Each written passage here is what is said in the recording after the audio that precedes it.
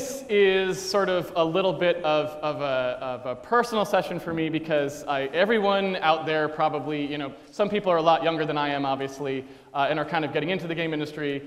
But, uh, you know, I can remember when I first started working on games when I was very little. Uh, obviously, there were a bunch of things that were kind of formative in like my experience of, of making games and, you know, being just a kid who was at home, you know, typing away on the home computer and whatever uh, I kind of think back to like what inspired me to do stuff or what were the games I played that were like, I really want to make that. And by far the one that like comes to mind for me the most uh, was Secret of Monkey Island. And there's, this is true for a number of reasons. Uh, one of the reasons, obviously, is just because at that time, I mean, I think there's many, many people who consider that like one of the defining games of that time in gaming. Uh, but there was also the fact that as somebody who sort of knew a little programming but was pretty bad at it, looking at that game and looking at the other games that were in its category at that time, I could actually see the difference in craftsmanship on that one, like even at that time, because I remember, you know, right out of the box, these things uh, would, would ship and they would be like, you know, uh, the Secret of Monkey Island game would be like this really fast, fluid experience and everything seemed to work great. And you would see like a you know, year later or something, you'd play a similar game there and you'd try to do something like click to walk and it would wait a while and then the guy would kind of do this really weird path that didn't look anything right. And I was like, even at that time, I was kind of like, wow, like this, this is so much better than this. And I don't even know why, and I'm not sure I could do this, but this is who I'd want to be, right? Like, I want to be the guy who makes Secret of Monkey Island, not the guy who makes this other game, right? Uh, and so when I was putting together the, the people who I most wanted to have here, uh, my mind immediately went to that, and I was thinking, like, if, if Ron wants to come talk, that would be like the coolest thing ever. And I was kind of on the fence about it because I'm like, well, I don't know, like maybe he doesn't want to talk about that sort of stuff anymore. Maybe he's not that interested in engine programming anymore. And so I go look at what he's doing, and he's actually writing. He said, because I thought Thimbleweed Park, like, oh, maybe he's like managing that process. He's like, he's actually writing a new adventure game system from scratch himself now, right? And so I was like, this is perfect. Uh, so I can't wait to ask him the questions that I've got here uh, and hear what he has to say. So please uh, join me in welcoming uh, one of my game development heroes, Ron Gilbert.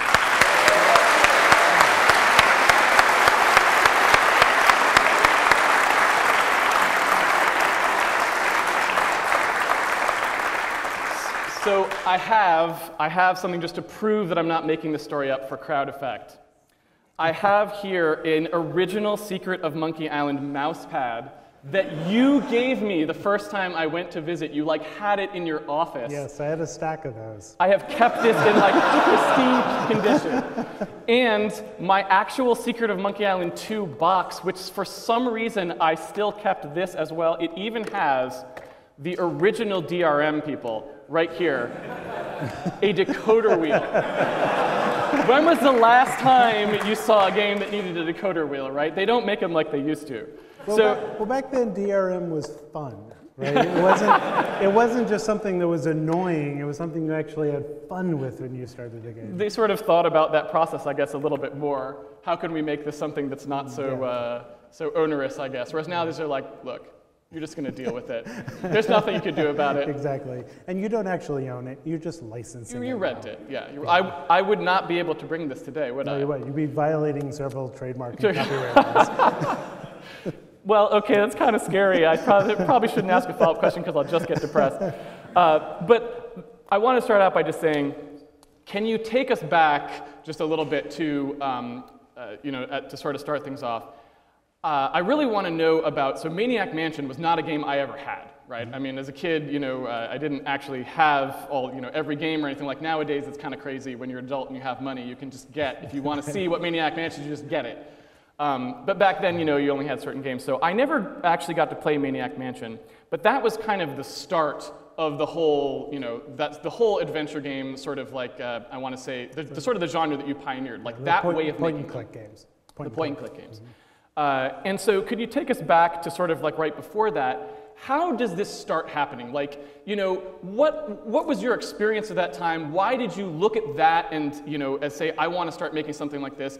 What, you know, and what was your sort of like skill set at the time that made you think like, I can, you know, I can do this better or I want to go do this thing? So can you, you just give us, set the stage? Yeah, well, I, I was hired at Lucasfilm to, uh, to do porting. I, okay. They, they had built some games on the Atari 800 and they needed someone to port him to the Commodore 64. And Okay. that was primarily what I did, which is Commodore 64 programming.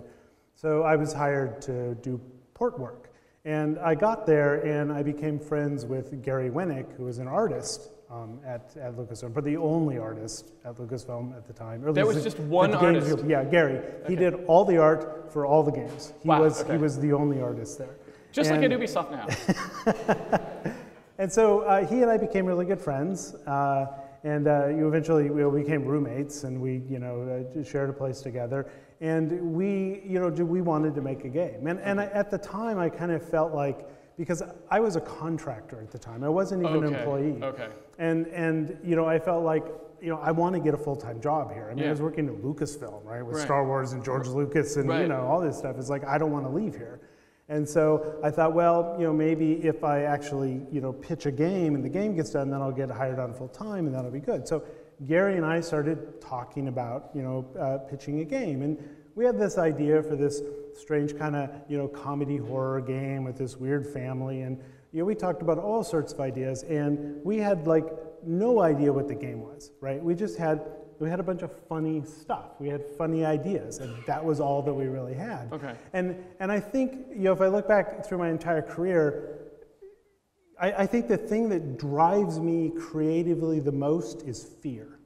You know, That's and, the second time that's been mentioned today. and and it's and it's like when I get like terrified of something, it's like all these creative gears kick in, right? Okay. And so I was I was looking at all these great ideas that Gary and I had, and I had no idea what this game was, and I was just it was it, I, I was afraid. You know, it's like this fear was kicking in. And we, uh, Christmas break came, and we took, we, we went on break, and I went down to, you know, to LA where my um, aunt and uncle live, and my eight-year-old cousin was there, and he had just gotten a, you know, Tandy computer, Okay. and he was playing King's Quest. okay. I had never seen King's Quest before, right? I, I played Text Adventures, you know, Infocom Yeah. and all that, but I'd never seen King's Quest before. And I watched him play this thing, and it just, everything just fell into place. It's like, Okay. this is what Maniac Mansion needs to be. It's, it's an adventure game. So I, I came back after Christmas just all energized, and that's when we just turned the whole thing into an adventure game at that point. And so, uh, King's Quest obviously looks quite a bit different than Maniac Mansion Mm-hmm. because it's kind of you drive the character around, it's got a text parser, you know, you type in kind of the old Infocom style. So it's quite a different game. So when you came back having seen King's Quest, Mm-hmm. it didn't go like, oh, we'll just make King's Quest and we'll swap in our funny ideas and that's the game we're going to make. So how do we get from I saw King's Quest, which is actually pretty different, to excuse me, to Maniac Mansion. Like, what did that process start looking like? What was the? Did you start making a King's Quest clone right away and then start deviating from it, or did you iterate on it sort of like uh, as a in a discussion first before you started making anything? Like, what? How did that happen? Well, the, the big thing was that I had played a lot of text adventures, and Yeah. I liked text adventures, but I really did hate the parsers because I felt like I was always playing this game, which I called second guess the parser. Okay. Is that I knew what this thing was, Yeah. right? But but did the game call it a bush? Was it a plant or a tree? I Yeah. guess since we're talking about trees Yeah. today. You know, what, what was this thing? And, you know, maybe the designer had put in a bunch of synonyms or something, but maybe they didn't get Yeah. the synonyms I wanted. And so I said, you know, it's like, I can see this stuff. I just want to touch it. I Yeah. just want to click it. I want to say, that's the thing I want to, I want to interact with. And so that's kind of where getting rid of the parser came from. You know, it's like, you know what, we should just get rid of the parser. The fact is that, you know, even sophisticated adventure games probably only use like five or six verbs anyway, Yeah, right? yeah. They're all just synonyms for stuff. So we kind of went through and we picked out the verbs that we thought would be useful, and those we just put them right on the screen. And so you just click on the verb and you click on the object, and that was kind of where the whole you know point and click thing came from. Well, so how did you sort of do that process though? Because you know, uh, was that something that you thought of before you started programming the game, or is that something that you sort of like? Did you start making a parser and then go, wait a minute, we could do this, or did you? Was this just like you came back from King's Quest and were talking to Gary, and you guys just kind of figured this out before you even like started? Really, like what what was that We, like? we we knew we were dumping the parser, and we knew we were going to the verb verb interface Okay. before I started programming. So that was just already in your head from Infocom days. It just kind of clicked. When you Yeah, saw King's Quest, you were like, yeah, we don't want to do that. And And Lucasfilm had done a game previously uh, called uh, based on the movie Labyrinth. Okay. And they had done kind of a, a verb interface. It was like the spinning wheel thing. Okay. You know, it was it was it was very clunky and it was cumbersome. But you know that was that was a leaping off point for us, right? Okay. So it didn't come from absolutely nothing. It kind of came a little bit from the labyrinth stuff. And so it was clear enough from that that's like, Yeah. this could work if we just do it a little bit. Yeah, let's just refine it and simplify it, and, and this will just be a much better way for people to interact with adventure games. So now you've got this sort of idea. You're like, okay, we've got the idea sort of for the story and the sort of things that we want to have happen, and we kind of know that we're going to do like this verb interface sort of thing where you click on stuff. But there's still a tremendous amount of like, you know, what is, how do we build a game like this, right? Mm-hmm. Because you're, my understanding there is you're coming at it never having, like, you didn't work on King's Quest, so you don't know what the internals of King's Quest look like. Mm-hmm. And unlike nowadays, you know, a game like King's Quest or something would be trivial to write or something like this. Back then, you're talking about like, you know, it's cutting, like things are cutting edge. Like just having sprites move on a screen is like a whole thing. So Pi- pixels are cutting edge. yeah, eh, pixels are cutting edge, right? Uh, and so, what's your process now? How do you sit down and start approaching this problem? I guess we can maybe also ask a little bit like, how did you get the game approved? Did you work on it in your spare time? what, what happened there? Like, like uh, I guess we should say before we start Well, asking. you know, Lucasfilm back then, Lucasfilm Games was it, it, it was a very magical place in some ways, right? Okay. There was there were, but by the time that we had pitched uh, Maniac Mansion, there were like 15 people Okay. in the group, so it was very very small. And you know, I think we we were very lucky because I don't think George Lucas knew he had a games division, and so we Right. we had all of this amazing autonomy to do you know whatever we really wanted to do, and there was really no official approval process. The way it worked was you wrote you know little you know one two three page design documents and we just passed them around right on paper and everybody took notes.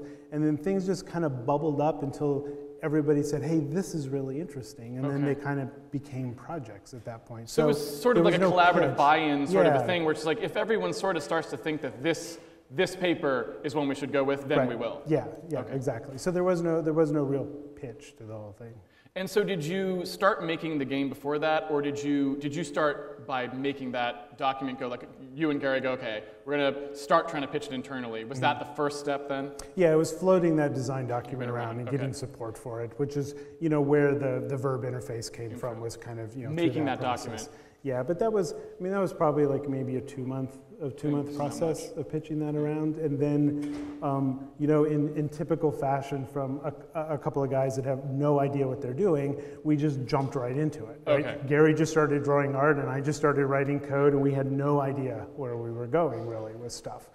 And, you know, and, I- and I think you know that's really kind of where the whole SCUMM system came from, Okay. the adventure game system, because you know we took this path where I was just going to write this whole game in 6502 assembly language, Okay. right? I mean, how hard Yeah. can that be, right? How hard? So I just I just started kind of doing that, and you know again that that fear kicked in as I realized I'm just totally in over my head with this. There's mm-hmm. no way we're going to be able to get this done.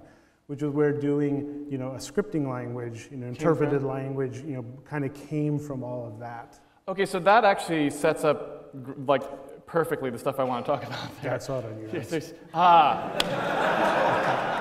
a professional. Yeah, give you a nice segue. Uh, so, looking at that process, right? You sit down and you're kind of going like, okay, we've got to start with some basic stuff. We've got to put some sprites on the screen, and presumably, like LucasArts maybe already has some stuff. You said Gary could start drawing art for it immediately. Presumably, there's some kind of pixel editing thing he can do or whatever. So he's kind of making some assets, and you, maybe you're getting some stuff on the screen. At what point? So, what did what started? Like, how do you sit down and start that process? Because the part I'm kind of interested in is, you know, nowadays, if I said I need to sit down and make a point-and-click adventure game, I mm. know what that is, and I know exactly how it's going to run. So I can sit down and debate a bunch of design decisions in my head or something, or start typing or whatever, and, and maybe follow John's approach and say I'll just write the simplest thing. But in mm. this case, we don't even know what it is yet at all, Yeah, right? it's, a, it's a new genre. It's a new genre. So, what literally, like, if you can remember, I know this is kind of a weird part of the development process. I can't even remember stuff I wrote in Stream last week, so I, I realize it's hard. But what do you actually start, sit down, and start with? Like, what was the thing that we just started doing? Can you give us any insight into that? Because I'm really curious. Well, well, I knew that the structure of the game was going to kind of be based on these rooms. We Okay. called them rooms.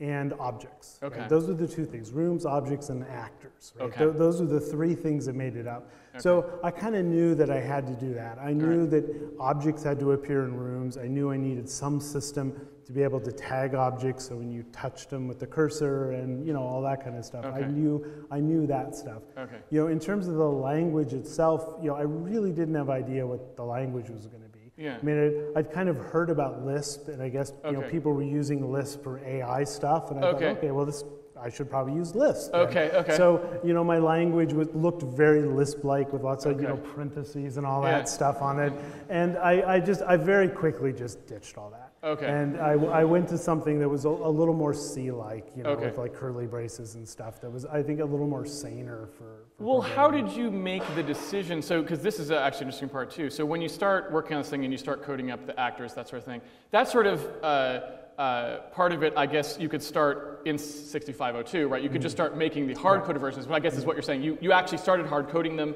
initially. How did you first come to, you you said fear essentially. How did you first make that leap of like, you know what, if I had an interpreted thing here, this would work? Because that's not, again, now that might be an obvious decision because Right. maybe you have awareness of all these things, but at that time, that is not an obvious thing to think of necessarily. Mm-hmm. Had you seen other games do this? Did you have some experience in the past that made you think this would be a good idea? Like, how did that thought come in? Yeah, that, that came from a guy named Chip Morningstar, and he Okay. worked uh, at Lucasfilm, and uh, he and another uh, person at Lucasfilm named Randy Farmer, um, they, they went on to create uh, Habitat, which is probably the Right. world's first graphical MMO. I remember that. And I mean, Chip was just like an uber smart guy. Okay. And you know, I was just kind of talking to him about the whole problem, and he just kind of said, "Hey, why don't you do a scripting language?" It was just something he threw out there. Why don't you do a scripting language? So he just knew about it from some other I situation. mean, and, okay. Yeah, I mean, you know, at the time, Infocom had a scripting language, Yes. right? I mean, they didn't code their stuff, Yeah. and you know, Sierra had one as well. Yeah. So I mean, it wasn't something that was totally unheard Right. of before. Um, but you know, getting a whole you know compiled scripting language Yeah. working on a Commodore 64, you know, there's 64k of memory in this machine, right? Yeah. And so that was. You know that that was something that I went really on a on a Commodore. You know that Yeah. I think that was the leap I had to make was Yeah. building in a whole interpreted language that ran on this little 64K machine, you know, I kind of had to convince myself a little bit that that, that, that was Was a good possible. idea, yeah. Well, and so in deciding to take that step, uh, was really what you were thinking there is like, okay, if we had a scripting language, it will be easier for me to script, or was that more of a decision like, if we had a scripting language, other people could start tweaking the like, which, because later on it probably that, that thing changed, but at, in Maniac Mansion, what Well, was that Yeah, like? in, in Maniac Mansion, you know, I was very idealistic, Okay. you know, at the time. And, uh, you know, I kind of thought, you know, I'm going to build this scripting language that's so natural, you don't even have to be a programmer, right? Okay. That, that I can hire like writers, Right. and they can come and they can use my scripting language and they can build these games because Okay. this thing is just so brilliant, you know, that it's, it's not even like programming They just describe the game and it yeah, just and creates it just itself. understands Yeah. it, right? You know, and how hard can that be, right? On that Commodore 64, plenty of horsepower. you know, so so I mean that was kind of my my initial thing, and and if you look at the SCUMM language, you know, the, the commands in it are very verbose. Okay. Because I was trying to make things be very clear about about what was happening uh, with, with stuff. So you kind of want to look very English-like. Yeah, exactly. You know, and so so a lot of the commands in the language are kind of like that. But I mean, at some level, you you just can't get over the fact that whoever is doing this needs to understand basic logic, right? Yeah. They have to understand, you know, if if then statements and all of this stuff that goes on. And there's just no way around that Yeah. kind of stuff. So, you know, the language can be kind of verbose and, you know, English-like and very free-form in its structure. You know, you didn't, you didn't pass a bunch of anonymous parameters to functions. You know, instead you said actor at, and then you could just put Okay. costume this, and just, you know, run on all of your stuff across it. So, Gotcha. you know, that's why it was, it was kind of a verbose language, and it didn't, it didn't look very programmery. Now, you're going to make this scripting language for the game. Mm-hmm. Obviously, you know, nowadays it's like, oh, well, you know, we're going to type the script in the script window and then mm-hmm. it's the game's running and we'll just alt tab between them or they're on the uh-huh. same screen or my multi-monitor, right? Right, right. But we're talking about a Commodore 64 Right. situation here. So how does that, uh, like, what, what did that process look like at the time too? Because now you're like, okay, how are people making these scripts and how does the mm-hmm. turnaround time look like? And I think like, again, it may not be that relevant to the, to the programming of it so much, but it's kind of interesting just to think back about Mm-hmm. how constrained that was. How did that process go? Like, what was that like at the time? Well, we, we had a we had a wonderful development environment. Really? And the, the Lucasfilm Games Group was, was kind of spun off or a part of the Lucasfilm Computer Division, which later changed their name to Pixar. Oh, right? okay. So those so, are. so all those people, you know, they, they all kind of worked in our group. And so we had these like really, really smart people. And, uh, you know, Lucasfilm, the whole entire company ran on these big mainframe, you know, VAX machines, you know, Unix machines and everything. And um, one of the things they did was they, they built these little things that literally plugged my Commodore 64 into the VAX Unix machine. really? I would, I would plug the thing in, and then I worked on a Unix terminal on my desk, and I had complete control of the Commodore 64. I could pause it, I could download stuff to it, I could upload stuff from it. So I never programmed on the Commodore Wow. 64. It was all done on these big Unix machines. I had no which, idea. Which was very useful because SCUMM was a compiled language. Yes. And so the compiler ran on the Unix machines. It didn't run on the Commodore 64. So the whole compiler and the ARC pipeline and all that stuff just happened on the Unix machines. And then we just download everything in the Commodore 64. And it was nice because we could do a lot of hot loading stuff, right? We could just run things down to the machine, you know, while it was running. And this was, you know, in, in 1986. Yeah. Right? And that was very, very, very different. You know, it's a lot like it is today, but very, very different than what was happening back then. Yeah, that's actually incredible. So, does that mean that somebody who was working on a particular room for the game uh, could literally have a Unix thing open, modify some scripts, and in a relatively short period of time see the result? Almost instantly. That's insane. Almost Ron. instantly. That is insane. Yeah, because we would, we would just we would just push the script down. And the other thing about the SCUMM system was, you know, the Commodore 64 had 64K of memory, right? But a lot of that was taken up with the program. Yeah. And uh, you know, I actually had only 19K of memory free Okay. for all the assets in the game. Okay. And so, you know, what I, what I had done was I wrote, um, actually, Chip had written it because he was starting to work on Habitat at that Okay. time. So he wrote this wonderful memory management system where, you know, all the assets in the game were kept on this little heap. Okay. And the system was smart enough to understand that, okay, this stuff's old, no one's using it, flush it out. And if I bring in new stuff, just spool the stuff out of memory while the new stuff is brought in, right? This is on a Commodore 64, right? That all this stuff is happening. So, you know, the whole game is just kind of, you know, uh, almost open world, continuously playing Yeah. while stuff is just spooled in from the disks. And so it made the debugging very easy on the, uh, from the Unix thing because we had all these assets, whether they were art or scripts, we could just pump a new one down to the heap. And it would just, it would just work right there on the thing. So it was a very, very quick development. So you literally on the Commodore 64, running on the Commodore 64, had hot loadable assets Yes. during without restart. Yes. It just keeps running, and you could swap like the guy with a new bitmap. Yeah. That's that's kind of crazy.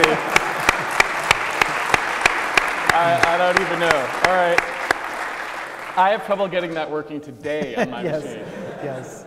Yes. Uh, we did. We did have to re kind of enter the room you were in, right? So it wasn't just magical. We had to do a quick Re- reload. But, I'll, I'll but we still didn't give have that to, one to yeah, you. I'll, I'll give that one to you. Yeah. Wow, okay. Uh, well, so I guess scripting language wise, how did you approach that problem? I guess I should keep track of time because I kind of wanted to talk about two things. It looks like we we have plenty, so we're good. Um, so tell me a little bit about how you approach the scripting language problem because, mm-hmm. like you said, if that was something that sort of someone said, hey, why don't you do a scripting language? You're like, oh, maybe that's a good idea.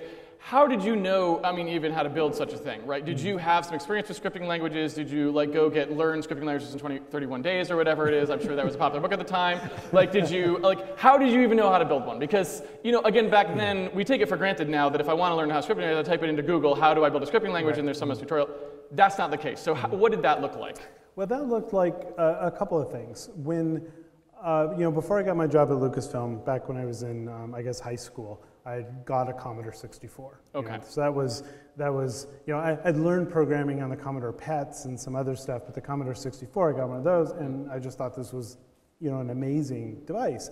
Um, but the one problem I had with the Commodore 64 is it had really great graphics, had wonderful, you know, SID chip for doing audio.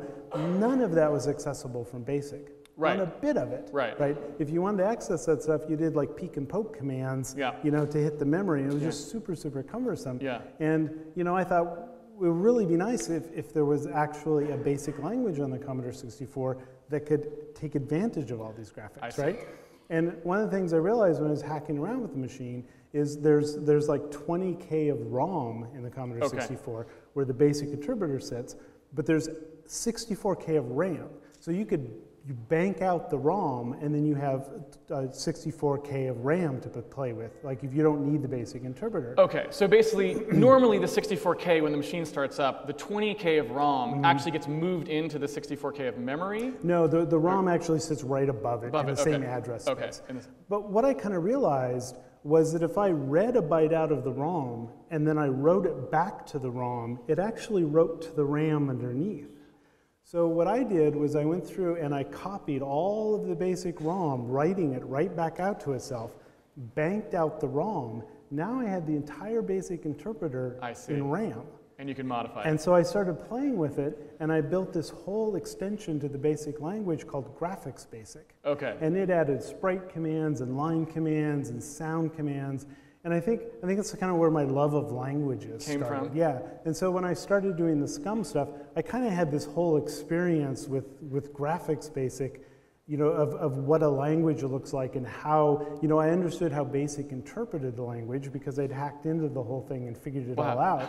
So when I was working on the SCUMM system, I kind of I knew you know what it was like to go through and the, you know interpret opcodes and, and all of that kind of stuff. That I had already figured out. Yeah. Okay, so basically your experience with, with essentially disassembling mm-hmm. BASIC, I Yeah, guess we would call Which it. Which I right? did. I, I printed out the entire basic ROM. Okay. You know, I remember sitting on my bedroom floor Yeah. with these giant printouts and a pencil, you know, writing comments because I mean there was Yeah. it was not there would there were no Yeah. comments, right? It was just assembly code. And I so from that. that, you learned how they had done their Yes. interpreter, and so mm-hmm. now you knew here's how I can make an interpreter. Right. That's amazing. Yes. Okay.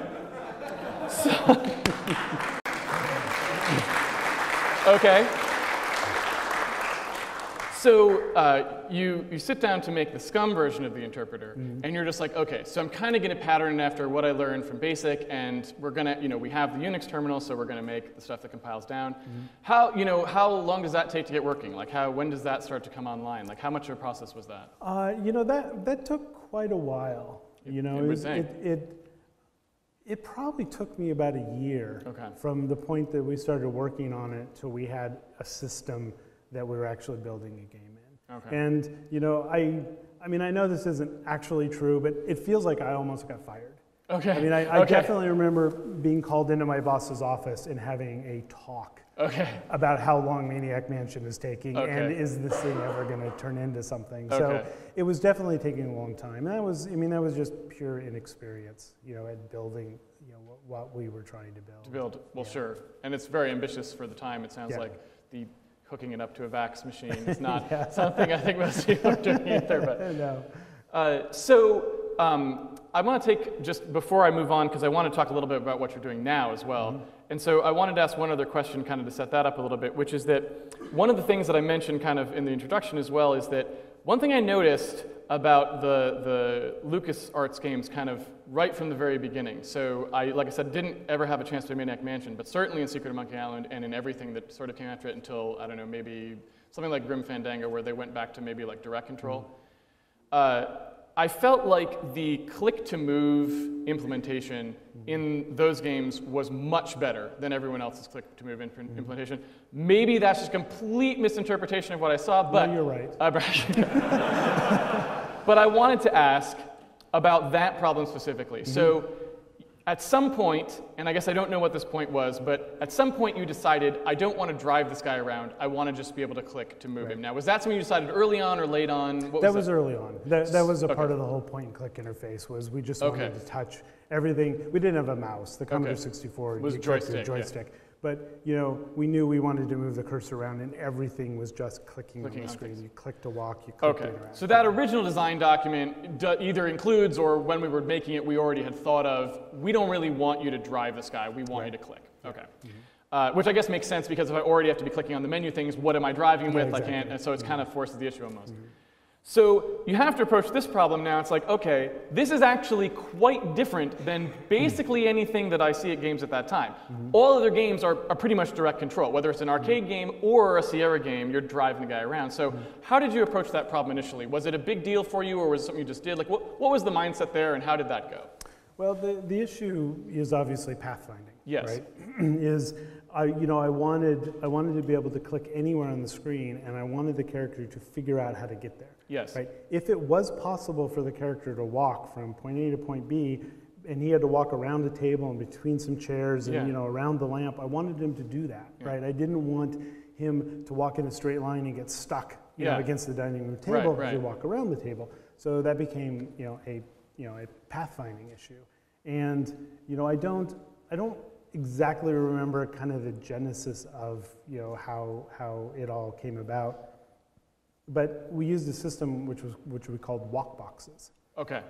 And and what it was was, you know, if you, you think about the room, Yeah. you know, it's it's kind of flat, but think about the floor of the room. Yeah. And I, I would just put these boxes, and they were literally squares, Okay. right? Because we didn't have the CPU power to even have angled lines Right. and figure out, you know, the So intersection. some kind of rectangle. So they were boxes, you know, the walk boxes, and I, you would just, you would just, I would just put them on the floor, as many of them as I needed, and you know, make sure that there was an overlap, you know, on them of the lines. okay, so all of the rectangles are slightly overlapping. Is that what you mean? They're, they're, they share a pixel in common. So exactly overlap. Exactly they, they, overlapping. they osculate at this point, if you will. Okay. All right. yes. Okay. Mm-hmm. Yeah, and then, and so you have all these boxes that litter the floor about where you can walk. Now, the hard part is, like, well, how do you path through Right. them, right? And, and today, I mean, you just don't worry about Right. it, right? You do some Yeah. A star thing or Yeah. you know whatever it Yeah. is, but you just didn't have the CPU No. on a way a 0.8 you know megahertz you know 6502. So um, you know the the idea that it came up with is you just do a lot of pre-processing on Oh. it. And, and, and so I had all the boxes. There was like box one, two, three, four, five, six. Okay. And I had this two-dimensional grid, and you you look at the box you were in. So you were in box one. Okay. You wanted to go to box eight. Okay. So you just you look up in the grid. You know, Okay. box one. I want to go to box eight, and that number right there was the next box you want to walk into. Okay. Okay. So and, and so then, and I knew those connected, they had to. Right. So then it was very easy to find the connecting line, and then I would just walk to the center point of the next box. So that's like Dijkstra's algorithm. Did you know that No, at the not time? So you full on just figured it out yourself? Not at all. Not at all. and, Of course not. And that, and that little matrix, Yeah. that was something that we, we had to build by hand. Okay. right? We didn't, that wasn't pre-processed. We'd lay down all the boxes And you just then type we'd into the text editor and we'd lay out that little grid of where you could go. So it was, it was, was kind of a, a cumbersome process to set up walk boxes. But the end result in the game Yeah. is instant Yeah, movement. exactly. So basically, you would click somewhere. Mm-hmm. It would know that's in, well, first of all, it would just look to see through all the boxes. If any of these boxes, if it's not in a box, you're not going to go there. Or did it try to go as far, close as it could? It tried to do, it tried to go as close so how did that work? Did you just find the closest box? It was, it was, it, it was a vertical line. okay, so it basically said like, It keep at the cursor searching until we get to something. hit a box, yeah. So I find a box there, and then I basically set some global, you know, not global, but some state for this actor that's like, this actor is trying to go to box blah. Mm-hmm. So every time his box, you know, every time I update his movement, I go, what box is he in? Mm-hmm. Figure out the direction to the next box and go. Well, how does that? How were you encoding stuff like that? Like what direction go from box to box? Was it, It just was, it was really just straight lines. Okay. And you know, you had to be care- careful on your boxes because Yeah. I knew that what, what the actor was going to do was go from the point they were standing to the midpoint of where the two boxes intersected. And so I just kind of had to make sure. I mean, sometimes you know we'd have to put a couple of extra boxes, Boxes in just just, to make it look a little bit feel, better. you know, feel right. Mm. But it was, I mean, it was pretty brain dead, you know, what I was trying to do. That's well, so that's like a mystery that I've, I've wanted to know for I guess what 30 years now. So Yeah. thank you very much. Yeah, it became a, a little more sophisticated. You know, by the time Monkey Island rolled around, we could do trapezoids. Okay, so to try just to make less boxes so they yeah, so we could do like trapezoids and Okay. stuff, and you know, it, it slowly evolved over time. stuff. So let's jump forward now Mm-hmm. uh, to Thimbleweed Park, right? And you're going to uh, uh, this is the only question I think that I've asked you beforehand, so I kind of a little bit know the first answer, but everything else I don't know. Uh, so you're going to make another adventure game, and obviously, like I mean, to to drastically exaggerate, if you wanted to, you could literally go get someone's reimplementation of your thing, which is probably in the public domain now, if you wanted SCUMM- to, right? ScummVM. Some ScummVM you could use. So when you sat down uh, to make a new adventure game in like what it was it 2014 or 2013? It was, uh, 2014. December last year. December last year. Okay. So uh, so 2014. Uh, you're like, I'm gonna make a new one. How did that decision? Like, how? What, what was the motivator for that decision? Uh, the motivator was, again, it was Gary Winnick, and Yeah. he and I were just talking one day about adventure games, and, and we were talking about modern adventure games, you know, versus kind of the old classic Yeah. point and click games, and it really kind of, you know, it felt to me that adventure games have lost that charm Okay. that, that they had back then. Okay. And, and I really wasn't sure why Okay. they had, but if, it just felt like they kind of lost that charm. And so Gary and I were talking about, you know, what, what that was. You know, maybe it was just our innocence of the time. Maybe Yeah. it was that it was a brand new genre and it was just magical. and It Yeah. was just not anymore. We just So when you said that charm, you don't really even know what it I don't know what was. that You're is. just like, I felt like there was a charm here, and that charm is definitely gone. Yeah, I, I have no idea what that is. Okay. And you know, we were just kind of talking about that, and, and we didn't really know what it was. And you know, we started talking about, well, we should just make a new one. Yeah. We should just make one exactly like we made them back then, with the see. same sensibilities, the same, you know, kind of art style, everything, and just see if we could capture that charm, Yeah. or maybe that charm has just been lost to time. Yeah. You know, in some way.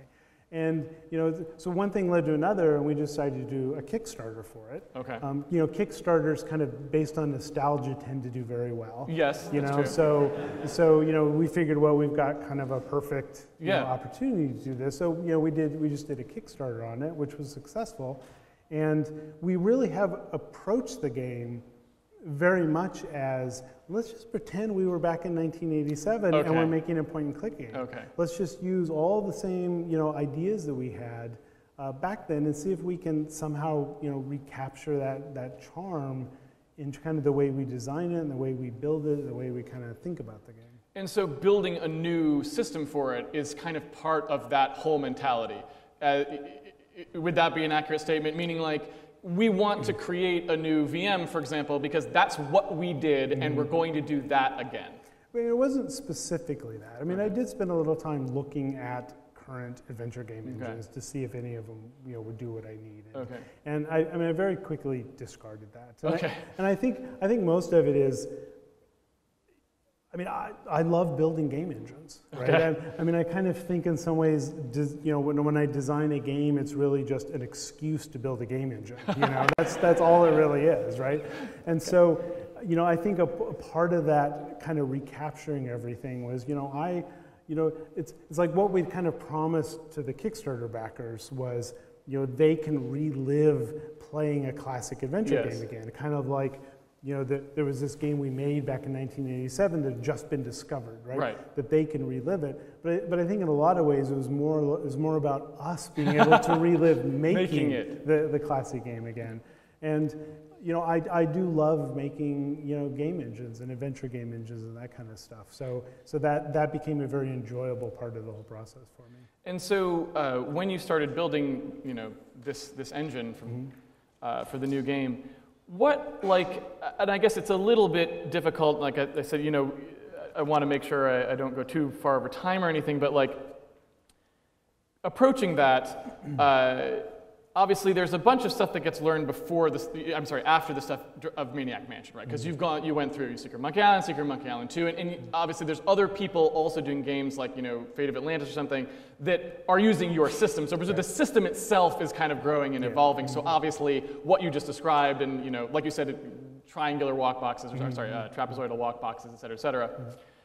Um, basically, like, you know, from wherever that sort of ended, and your, wherever your thinking process ended, and, and I guess maybe at Humongous, you maybe would have revisited a bunch of design ideas for internals there. From that, starting out now, are, is what you're building similar to the last thing you built at, say, Humongous or something? I don't know if that's the most current, if, if that was like the most current architectural thinking that you've done on the problem or, or whatever. Um, how similar is it, would you say? Like, how much is the same and how much of it's different? Like, what's, what's the, give me a little idea there. Uh, it's, it's fairly similar. Okay. You know, I wanted, um, you know, I wanted the structure of the language to feel a lot like, you know, the structure Okay. that the SCUMM system had, the Yeah. way rooms were laid out and objects were laid out and objects had verbs and the way that the code for the verbs was embedded in the objects. All that stuff, I, you know, I felt worked really well for an Okay. adventure game. So I, I definitely replicated, you know, all of that uh, in the new system. Uh, so I'm interested in one thing you said there. The code for the verbs is embedded in the object. So Mm-hmm. that means that when someone's designing something, they design the. I guess unpack that statement for those of us who don't know. Yeah, it's Uh, like well, if you look at the code, right? Yeah. You you would you would you know object and then you define an object like Okay. object you know, front door, Okay. right? And a little curly brace. Yeah. And then you'd have you know the name of the object and some flags for the object and local Yeah. variables for the object. Yeah. Then inside of that, you would then have a statement that says verb Okay. open Okay. curly brace and a bunch of code and a close brace. So that was the code that got run when you opened the object. Okay. That code got run.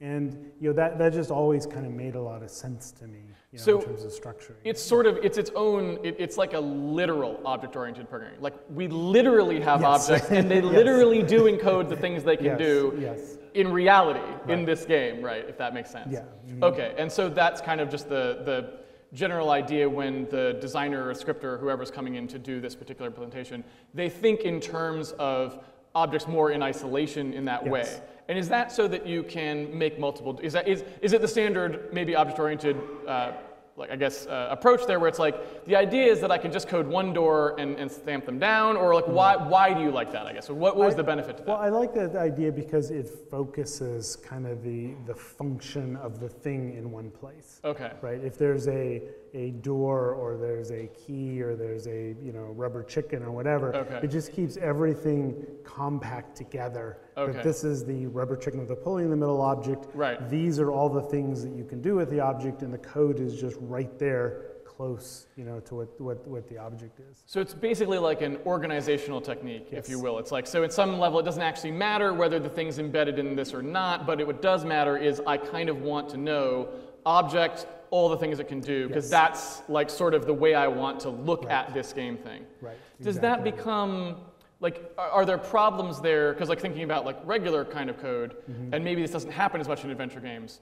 Uh, but like in, in regular code, you end up with problems where it's, it's sort of the interaction between the objects is Mm-hmm. the complex part, and so it's difficult to sort of partition it off into separate things. Right. Is that not really a problem in adventure games, or it is? And then I guess Yeah, I'd ask mean, that it- question. It's, it's a problem. Okay. I mean, you, you know, you're, you're using objects with other objects Yeah. in adventure games. You know, you're using key with the door, Yeah. right?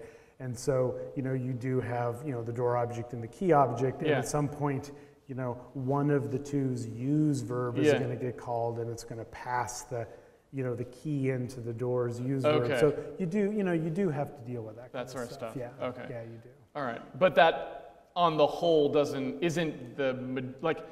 I guess what I'm saying is you're not so concerned about seeing the code organized that way, like Mm-hmm. pairs of objects, because that's the less common case. I guess is that the Yeah, I mean, yeah, I, I think about things as the object. There Okay. is the object and what can, Can the the object, object do, do? and all the functions that the object can do.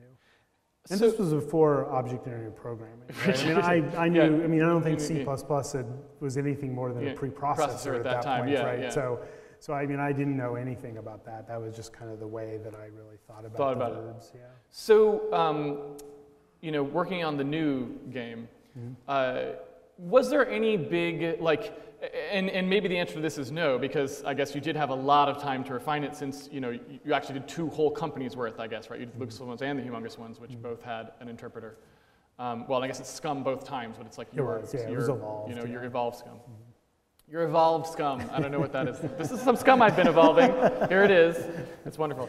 Um, so, was there anything that you sat down uh, on, on like the VM side of things or the scripting side of things? Was there anything that you went into it going, you know, yes, I've done this a billion times, but I really, this time, I kind of want to solve problem X. We just, we never got it. Mm-hmm. Like, was there anything like that that you sat down thinking about, or was it always just like, no, like we're pretty, like, I was pretty happy with where we ended up, you know, at sort of like maybe the, at the end of the humongous titles. I Mm-hmm. feel like I got most of the problems I want solved, or was there some things that you're just like, this time, I'm not going to have problem X, or this time I'm going to fix this thing that always bothered me. Does that make sense as a Yeah, I don't, I don't think there was. Okay. I don't think there was a, a big thing. Again, you know, I was trying to replicate those Yes. classic games, and I knew exactly what I needed to do to do that, and I really did feel that the SCUMM language did what I What it needed, needed to to do do. with that stuff. I mean, there's, you know, the SCUMM language was compiled, so you know, you'd make changes and you run a compiler, and it would compile Right. it, and then you'd upload it. You know, now the compilation just happens in the engine at Right, runtime right. right? So you know, the, there's a bunch of steps that have kind of been removed. You know, I, I no longer need a heap Right. because I basically have infinite memory, Yeah. you know, Yeah. to work with. So there, there's a bunch of things that are just simpler, Yes. you know, to, to, to deal with. But I, I always like the structure. I like the way the multitasking worked on SCUMM. I replicated all of that. It just, it just, it worked for me. So. So how did the multitasking work in SCUMM? Well, the, multi, the multitasking uh, with, on SCUMM, you're, they're basically scripts, which were Yes. analogous to functions. Right. And when you And this is like what you were saying in the door. If I have door open, Mm-hmm. there's some code in here. That would be sort of the type of thing we would be talking about. Yeah, first? Okay. yeah, so that's going to execute in the SCUMM VM. right, and but but the thing the thing that I you know wanted to do with the SCUMM system was I wanted the objects to be uh, you know a little bit self-contained. Okay. Like if you know the clock uh, needed to tick and it needed to move its little pendulum. Yeah. I just wanted to have a little piece of code that just moved the pendulum. Right. I didn't want to have to have a big state engine that you Right. jumped into Yeah. and you know had to spawn out to all the different pieces for something. see. I just wanted a little function. So the, one of the coolest things to me was the SCUMM system had a do loop that had no until or while on it. Okay, okay. It was just do open brace, close brace, Right. and it would just run like Right. that. And so that script would just sit there and do whatever it needed to do, and you could spawn off all of these different scripts for all these different objects and really let the objects deal with themselves in a way. And how did you deal? I mean, I guess for the most part, in, in most circumstances you're describing, these do loops, I would know that I wouldn't have to execute one if I'm not in the room with that object, but I would mm-hmm. imagine sometimes maybe I, I even do. And so like mm-hmm. how did you, how do you manage the fact that we could have tons of objects doing do loops and which ones do I do now? Like, like what, what did that sort of look like, I guess? Is that, Well, there were, there were two kinds of functions. There Okay. were global functions and local functions. okay, Local functions were local to the room. Okay. So when you left the room, all of the threads running that were local functions just got killed. killed. Right, so you didn't have to manage that. So only the global functions were the ones that would, you know, spin, uh, you know, outside, uh, outside the rooms. And objects could implement global functions or local functions Yeah, inside them. So you can kind of just say this is something that has to happen all the time, or this is something that only happens when you're in the room with this particular object Right. or whatever. Yeah, like the clock ticking, you only care about But that if thread running see it. if the clock is there. Where another function that's maybe, you know, waiting for the shopkeeper to get mm-hmm. back from looking Right. for the sword master, Yes. that's got to be a global function that sits there and runs. I see. Mm-hmm. Uh, so, all right. So, taking the example that I asked before with the walk system, right? The walk box mm-hmm. and so on. So, tell me a little bit about your approach to that now, right? Because, like, again, at the time, like we were saying, like, okay, I got to make all the boxes, and then we by hand put in like the thing. But the time you had gotten to say the uh, like maybe the end of the LucasArts. So let's, let's say Monkey Island 2. Were you still manually entering in the walk paths, or did you Yeah. already kind of yeah? No, we were still manually Okay. those. So how about End of Humongous? Um, we didn't we didn't have walk boxes in Humongous. Oh, Yeah, because the characters uh, in the Humongous games, Yeah. they didn't really kind of walk around the rooms in the same way. I guess they kind of animated. yeah, to they different they, stations Yeah, they were okay. they were more animated stuff, so they didn't really have to pathfind in the same way. So now in this game, like I've, I've even seen the videos of Thimbleweed Park with you walking the character around. So obviously it is pathfinding. Mm-hmm. Yes. we So have, we have walk boxes. Y- Oh, really? Okay. Yes. So what did you set it up? You still do walk boxes? Do you still enter in manually? No, no, I Okay. don't. Well, I did for about a month. awesome. The first month I was Okay. manually entering all the stuff by hand. Okay. Um, but yeah, I mean the walk boxes uh, in you know in the, in the new system for Thimbleweed Park, and they're still walk boxes, but they can now just be n-sided polygons. Right, right. Right, they don't have to be you know squares Yeah. or even trapezoids. They can just be anything that we can really twist Yeah. around Yeah. you know the objects. Yeah. And then you know at runtime, you know it'll, it'll kind of split the you know those polygons up into you know little triangles and stuff to Okay, make the so you like do a generic kind of polygon thing that you can make whatever you want. Right. Mm-hmm. This is the walkable area, and then we will go ahead and tessellate that for you, Exactly. and also figure out the connectivity that we used to do by hand. And then, then from there, the system is pretty similar. Yeah, then it's it's actually very similar Okay. at that point. You know, the the stuff that happens under the hood is is very similar. It's just we've removed that that kind of human step. That's just hmm. all done by All- you know robots. All right, so let me check how much time we got here. I don't actually know. So 518. I don't even know. My, my handwriting is so bad that I can't even read what I wrote down. Let's see. Yeah, it's definitely not handwriting hero. So this is 520. It says, I think we don't have to. So, so correct me if I'm wrong, but this was 535 that I was supposed to write down here, right? So we have.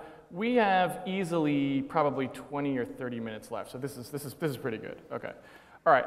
So I guess uh, I just kind of want to drill down on a couple things here that we sort of already talked about, but that are, that are maybe a little bit more, uh, a, a little bit more processy, let's say. So uh, you now have a, a situation, and, and, I, and I guess this would have been true, for example, going back to something like Secret of Monkey Island 2 or something, where you've actually have a fair number of people working on this game, right? So it's like there's a lot of uh, rooms to create, there's a lot of objects, a lot of scripts to write, and that sort of stuff.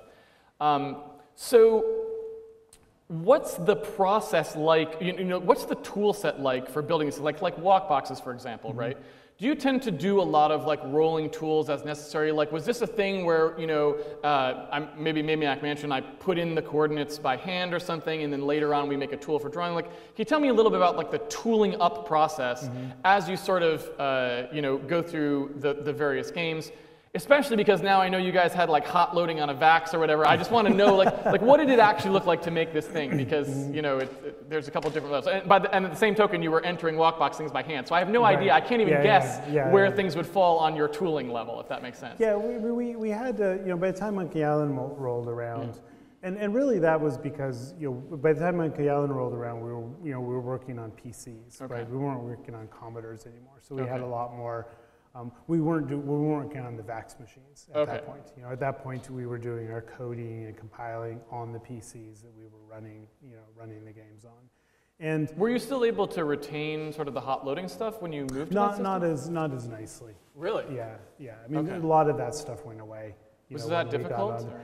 Um, you know, not really, just Okay. because there were so many other benefits. You know, Okay. when you're working on a Commodore 64 with 19K of heap space, Yeah. you know, when you have suddenly 120K of heap space on a Okay. PC, it's, you know, it's like nirvana, right? So I think you're, you're kind of happy to leave some of that stuff, you know, on, on Okay. the roadside.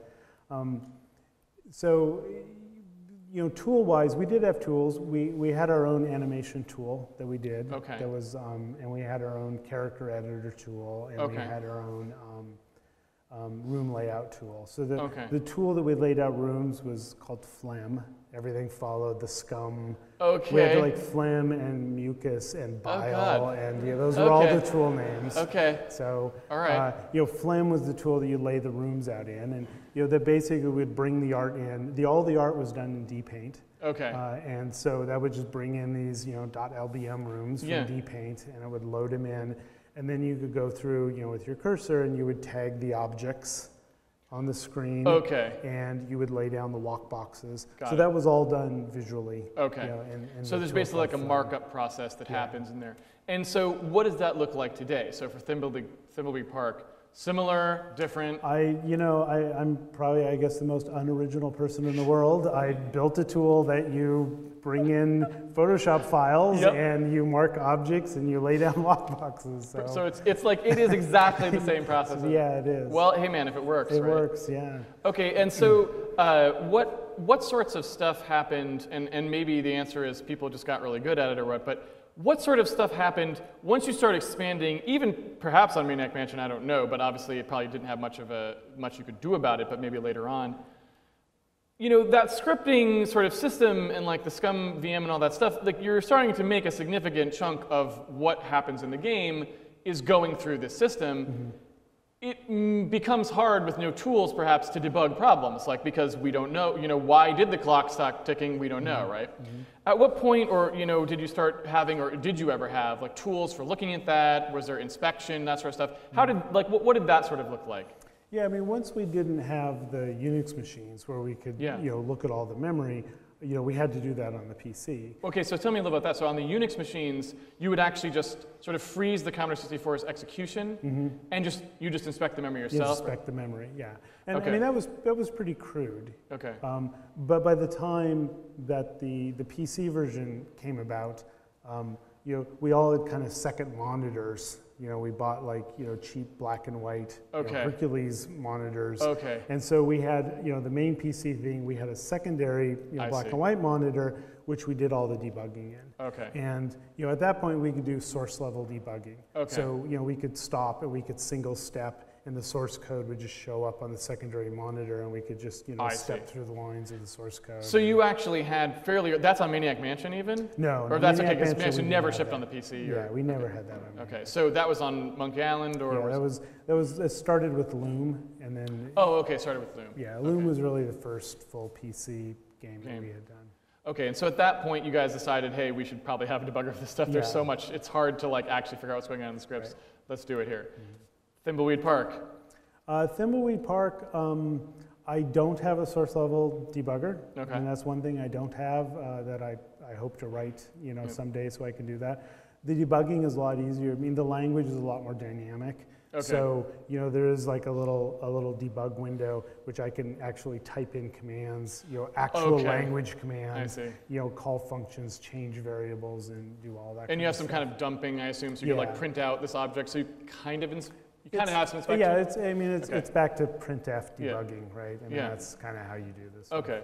So basically, like uh, in, in some sense, now in Thimbleweed Park, you rely on, I guess that's typically called like a top level or something like this. People call it like the ability to type in code dynamically Yeah. gives you the ability to sort of like, okay, well, I can go in and if I'm wondering why somebody's doing something, I can l- print out some of the state, or I can also kind of twiddle with things and see Right. if that You can change was what it was, you or just you know. call functions to Okay. you know kick the game into a certain state or whatnot. And do you do a lot of the stuff on Thimbleweed Park in terms of creating those scripts, or do you like is that do you have people who are doing game scripting? At, is it is it more similar to like the Monkey Island case where it's like Yeah, there's people doing scripting and you're doing the engine? Yeah, there's one other person, uh, David Fox, and you know coincidentally he was the other scripter on Maniac Mansion, Okay. right? So. So it's the exact team because Yeah. Gary Winnick was the artist of Maniac Mansion. Right, and I'm You're doing the the, coder. engine and scripting, and Okay. David is doing the scripting. It's shipping. like uh, we're all just older, and And- you know, okay. it's really you know about Yeah. it. Okay. Um, yeah, so you know, he does probably the bulk of the scripting. You know, Okay. I, I, my time is probably split between you know building the engine and doing scripting stuff. Although most of my scripting tends to be more experimental stuff. It's like I'll add some new feature, and so I'll program a part of the I game see. that needs that feature. To see. Well, yeah, where David will then kind of go off and do more of the nuts and bolts scripting. So are there any new features in the VM that you're using now, uh, or sorry, that you built now, Mm-hmm. uh, that were like very different from the SCUMM way? Like, was there was there anything, or is it like no, no, like it is basically SCUMM? Like I just kind of did, you know, a, a new take on, you know, the, the exact same thing, or was there like have you experimented? Because especially when you say experimental scripting for features, are those just features that used to be in SCUMM that you haven't implemented in yours yet, or are those new features where you're like, I think it would be nice if adventure game scripting languages had this? Yeah, I mean, there, there are a lot of new features just, just to make, you know, in the language, just Okay. coding things, you know, Okay. functions we can call. Um, you know, the game is all kind of, you know, classic 8-bit, Yeah. you know, art Okay. stuff, except we have shaders, right? Okay, We okay. can do lighting, Okay. right? So, so the lights in the world actually project light you know, Okay. out, and they actually shade the characters as they walk I around. see. And, and so, you know, there's stuff like that that's kind of new. Okay. And, you know, so, you know, I create commands in the language to be able to control the lights, because we want the lights to be able to blink on and off Right, and do right. all these other things. So it's just tying, you know, all of these new, you know, features that we have in the engine back into the scripting language and how all that kind of stuff works. But what if the charm of old adventure games was that they didn't have lighting. you're, you're, you're, you're ruining that one. You know, you never know, right? It's like, uh, I guess there was some, though, I guess. Well, I mean, when I, when I did the Kickstarter, it's like my goal was it wasn't to make a classic adventure game the way they were. Yeah. It was to make a classic adventure game the way you remember them. Okay. Right? I see. Because people don't remember those games exactly like they were. I see. right? They they kind of extrapolate the graphics out to much better than they really I were. see. And so I wanted to be able to kind of remain true and pure to the 8-bit stuff. I see. But I'm not opposed to using shaders I to get some really nice, you know, subtle lighting effects on everything because I think that's the way people remembered those games Okay, you know, I in their heads. And uh, that makes sense. So it's kind of like saying we're trying to we're trying to reproduce your memory of Monkey Island, not the actual Yes, Monkey Island, because the actual. Monkey Island you might be like, ah, that doesn't look so Yeah, good, right, exactly. or something. and so we want to take that away. So it's Yeah. got to walk, I guess, almost like a fine line between. It can't look like a completely modern game because then it obviously isn't Monkey Island, but we can't go all the way back to exactly what it looked like because it's too far. So you're kind of Right. like in this middle ground of trying to like nail. What did you remember Right. It's, it's the feeling. It's the feeling when you of playing those games, and and you know we can certainly do a little more with the hardware. You know, I can actually do scaling, you know, through the GPU, and I can do stuff like that now that uh, you know we just we couldn't do back then. What's your approach been to this? Is kind of a little off topic, but I just kind of realized I hadn't even written this down. What's your approach been to music over time? Because I feel like you know, uh, in in sort of the, I want to say Monkey Island 2 maybe. Uh, it kind of had very, very advanced interactive music for its time period, the right? I, IMUSE system. Yeah, the iMuse thing, and and, uh, and then like I don't really know what you guys did at, with the Humongous titles necessarily, because a a lot of those actually featured more heavily sort of recorded, like produced stuff, which couldn't probably be so interactive. But what's your what was your feeling about those? Was that something you really weren't that interested in anyway, and maybe some other people went off and did it, or did you care a lot about the music? And what's your approach to it now? Can you give me? Yeah, like I said, this was never on the list, but I just kind of thought of it, and I was like, should ask. Well, I mean, the iMuse system, which did probably one of the most amazing interactive music systems I've ever seen. Okay. and it was it was amazing and it was incredible to work in. It was it was time consuming. I Okay. mean, we had uh, you know one whole game scripter who did nothing but hook in all the music cues Really? for stuff for Monkey Island 2. So you know it was it was intensive to Yeah. do that kind of stuff. But iMuse really became not possible with the whole digital revolution of stuff because iMuse was still just playing MIDI, notes, you know, yeah. on MIDI cards and Yeah. whatever. And when digital music hit the scene, it really couldn't you couldn't do what iMuse did anymore. And and so I think it just kind of lost a little bit of, of that stuff. But you know, music the music in Thimbleweed Park, I kind of describe as fully modern. Okay. I'm, I'm not a big fan of like chip tunes, and I'm Okay, not, not a big fan of that stuff. Okay. And and so I just I felt like music kind of embodies such kind of an emotional tone for the game that I really just wanted the music to be to be full and really nice and really good music for the game. And do you think that, like, so uh, is that something that's kind of missing nowadays in some sense? Would you say, uh, like your description of the iMuse uh, system, or, or I guess the results of the iMuse system, and having gone to digital and sort of losing most of that, is that something that you think we kind of need to get back at some point, like as a technological problem? Like, what, or do you think that games don't really suffer much from not having that technology? Like, what, what's, what's your take on it as, as someone who's made games with and without it? Yeah, I, and I, th- I think really sadly, I think music is kind of ignored for the Okay, most part okay, in games, okay. and and it's it's too bad that it is. I mean, I'm not a music person. I know nothing about music. Right? Sure. I, I could not. I do not play an instrument. Yeah. I, I couldn't name the notes for Okay, you. Right. yeah. So. You know, I, I kind of entrust that there are other people that do that kind of stuff really Okay. well. But I really enjoyed working with the iMuse system. I enjoy kind of interactive music you know, the, in, in that the music, and the thing about the music in Monkey Island 2 and the iMuse system was that was one continuous piece of music Yes. from the time the game started until the game ended. And, but as you kind of move through the world, it just slowly changed to match the different rooms you were in, the different areas of the game you were in, and it was just, it was seamless and flawless. And I miss that. right? Yeah. I miss. I like having that that nonstop music going on, but it does need to emotionally change as you work your way through the world, and it just needs to happen very subtly so you don't realize that it's changing.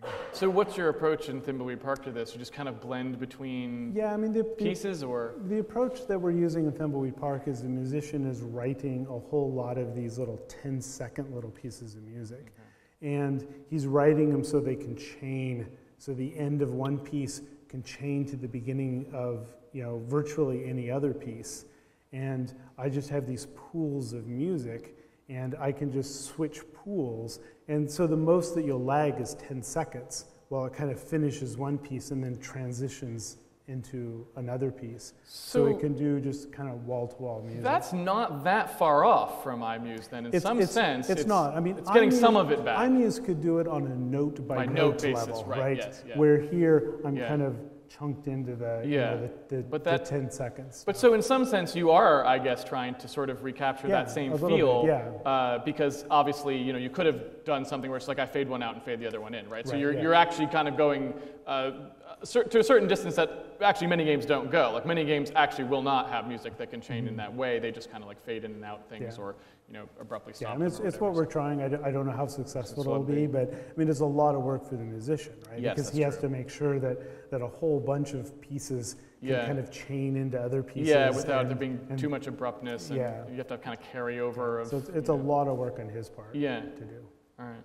Well, that's actually very interesting. I didn't know that. Let's see. Let's see how we're doing on time. So I think we're kind of getting to where we should probably start wrapping up. I think I got actually most of the things uh, that I wanted to ask, but I will point out the fact that earlier in the day, when Mike Acton was up here, he wanted to know if creating cutscenes had always been a problem, and he wanted to hear that from the person who.